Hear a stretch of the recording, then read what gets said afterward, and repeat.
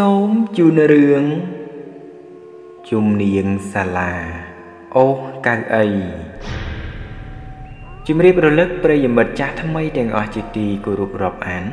ជាបន្តទៅទៀតនេះខ្ញុំបាទនឹងលើកយករឿងរបស់ប្អូនប្រុសម្នាក់ចែកជូនប្រិយមិត្តទាំងអស់គ្នាបានទទួលស្ដាប់ ចង់ដឹងថាសាច់រឿងរបស់គាត់យ៉ាងណាអញ្ជើញលោកអ្នកតាមដានស្ដាប់ជាមួយខ្ញុំដូចតទៅនេះ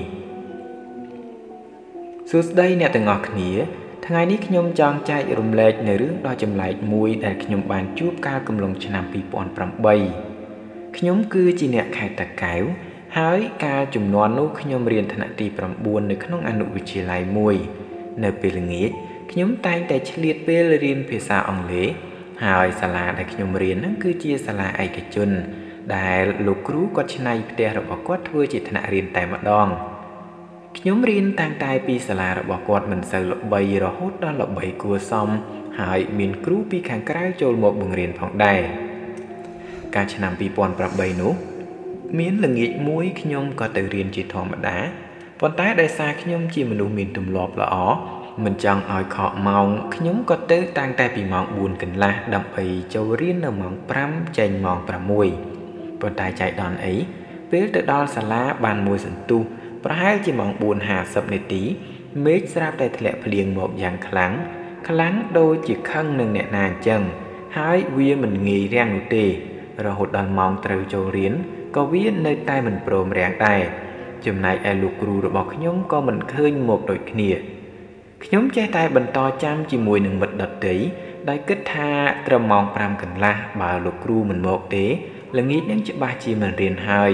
ហើយបើសិនជារាំងភ្លៀង ខ្ញុំនិងមិត្តប្រកាសជានាំគ្នាទៅផ្ទះតែចៃដន្យអីថ្ងៃនោះភ្លៀងខ្លាំងដូចអ្វីដែលខ្ញុំរៀបរាប់អញ្ចឹង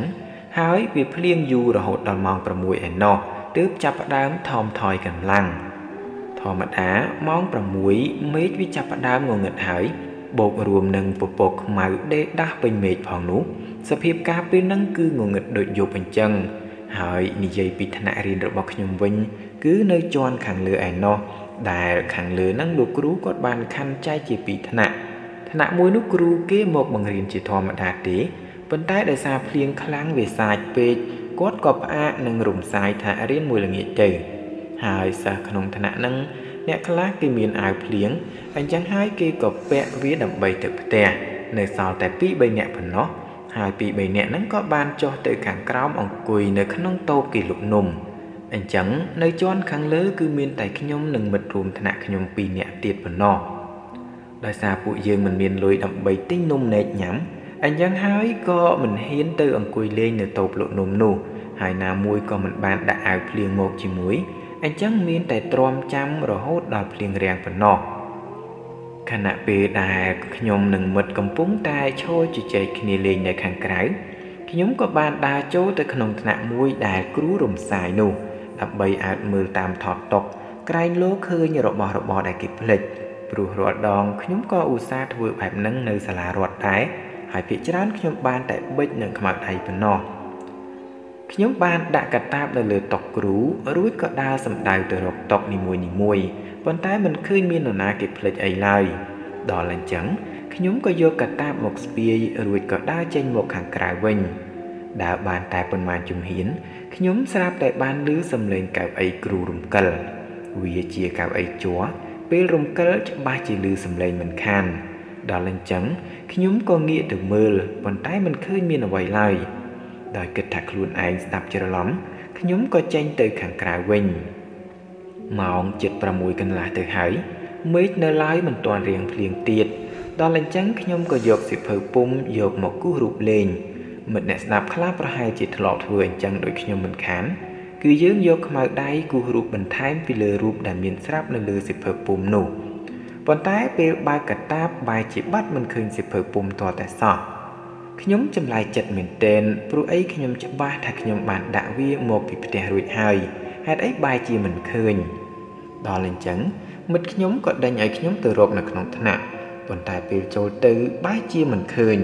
ហើយពេលចេញមកវិញ មិត្តខ្ញុំក៏សួរថាតើខ្ញុំនឹងមានទៅកន្លែងណាផ្សេងទៀតឬអត់ពេលនោះខ្ញុំក៏នឹកឃើញថ្នាក់ជាប់គ្នានឹងដែលខ្ញុំទើបតែចូលទៅមើលតាមថតតុក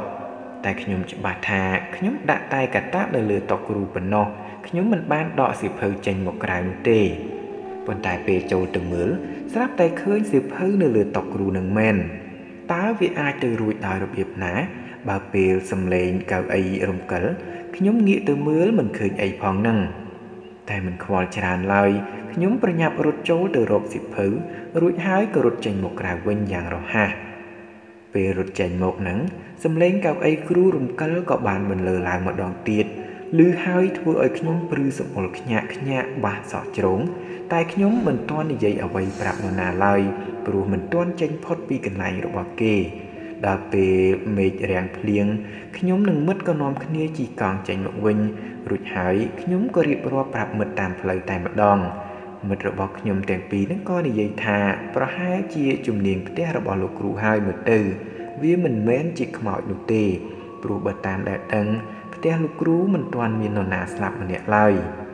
ខ្ញុំក៏គិតថាអ្វីទាំងអស់នោះគឺជាស្នាដៃជំនាញផ្ទះរបស់លោកគ្រូដែរវាមិនមែនជាខ្មោចឡើយ។